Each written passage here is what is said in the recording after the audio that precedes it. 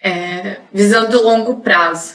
Eu acho. É, é a única visão que dá para ter, senão E o investidor brasileiro, exato, o investidor brasileiro ainda tem que aprender, é um caminho que a gente não tinha, não estava habituado.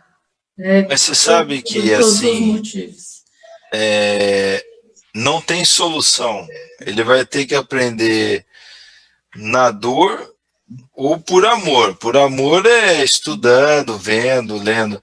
Outra coisa vai ser na dor, mas talvez seja muito tarde depois. Então, ele procura um fundo da moda que está andando bastante, ele entra. Depois, fundo da moda, ele sai de moda, cai, aí ele sai. Aí ele vai procurar um outro que está na crista da onda, ele entra. Aí o da crista da onda cai, aí ele sai. Vai passar 15 anos, ele vai ver, putz, não ganhei Só nada. perde dinheiro. É. Todos ganharam e ele não ganhou. Então, mas aí já passou, você perdeu 10 anos, né? Então, assim, é um aprendizado que pode vir muito tarde. Então, por isso que a gente se expõe. Por isso que a gente escreve em Twitter, por isso que a gente escreve carta de gestão. É para ver se leva a pessoa a pensar desse jeito. Porque se, se a gente não se preocupasse com esse tipo de coisa tal, fechava todos os fundos, assim, por uma sorte nossa, por muita, é, muito mérito do Luiz Alves e de investidores estrangeiros que, que nos dão mandato de vários anos, tem muito capital lá. Então daria você fecha e não vamos se preocupar com o cliente pequenininho, deixa quieto. Mas eu acho que tem uma oportunidade aí. Tem muita gente querendo aprender, tem muita gente querendo alocar recurso com visão de longo prazo. E você é, tem a chance, via rede social, internet e tal, de entrar em contato com essa turma e tentar fazer, ou tentar levar eles na direção que a gente acha correta. Então, por isso que a gente continua fazendo recursos de terceiros, mas é, gestão de recursos terceiros, mas que é uma jornada difícil, é. E para quem é novato na história, chega a ser angustiante. Mas passa, viu? Vai passar. So- sobrevive, aprende e aí fica É. mais resiliente. É. Ah, o pessoal está perguntando aqui qual vai ser a dia que nova o Magazine Luiza. Oi, fala, Luiz. Desculpa. O dia que o Collor tomou o dinheiro de todo mundo, você não sabe, não sabe o telefonema que eu estou ligando, falou, acabou, perdi tudo, não tenho mais nada, não tenho dinheiro. Oito meses de angústia, porque o dinheiro no começo ficou preso mesmo até entrar com mandato de segurança. E alguns davam, devolviam dinheiro, outros não, outros perdiam. Aquilo foi, foi.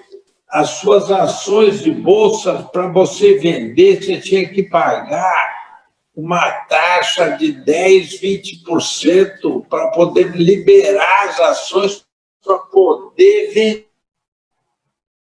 vender na boca, assim, repente tudo devagarinho, devagarinho, você depois nem lembrava mais, teve aquela, os bons ventos da bonança. Então, isso vai acontecer de novo, mas que é muito duro, é, é muito duro mesmo. Então, todos que ficam apreensivos, que perderam seu dinheiro, eu dou toda a razão para eles. Então, é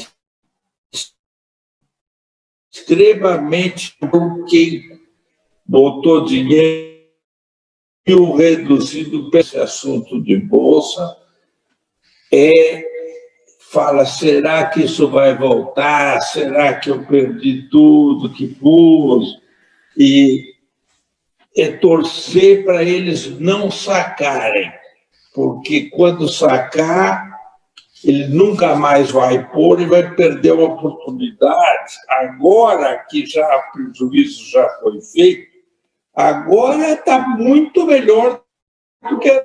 Mas se você fala isso, o cara falou, agora é louco, vai ser bom. Então, é uma situação bem chata, os gestores ficam com uma posição de ter carregado, no nosso caso, duzentas e tantas mil pessoas têm dinheiro com a gente.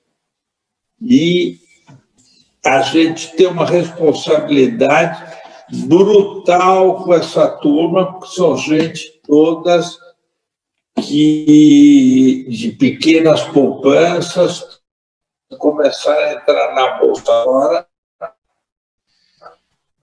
a nossa média, eu acho que é 20 ou 30 mil reais por pessoa ou menos, contando os grandes clientes. Portanto, temos vários clientes de 4 mil, 5 mil, 10 mil, e que esse é, é toda a sua. É, a gente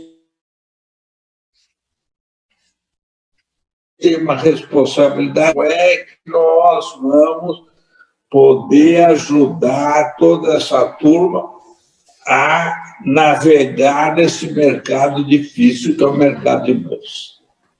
Existe uma, um espião que quando você ele espera você comprar para mandar a ação cair. Então você, você fica na dúvida, vou comprar, não vou, vou, não vou. aí se resolve para estar tá vendendo essa cair ação. Então, nesse caso, a compra da ação da Belgo Mineira,